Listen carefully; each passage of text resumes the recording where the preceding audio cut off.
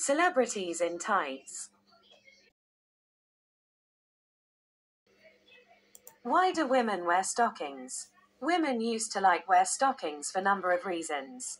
It helps them to keep their legs warm in winter seasons, suppose if they wearing skirts, in order to avoid their legs from frozen. On the other hand, it gives more professional looking and elevates their self-esteem in office. Here is an example of actress Natalie Dormer wearing stockings in movie The Counselor.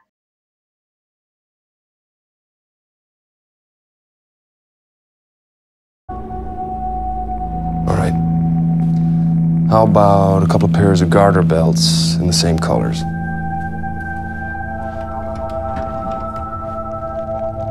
You should wear stockings. I am wearing stockings. Those look like pantyhose to me. Well, they're not. How about brassieres?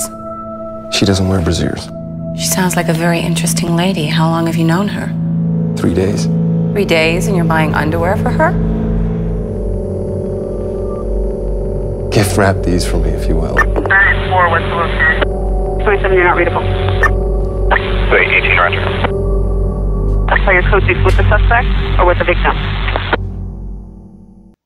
If you like this content, please like, share, and subscribe. Don't forget to hit the notification bell. Thank you for watching.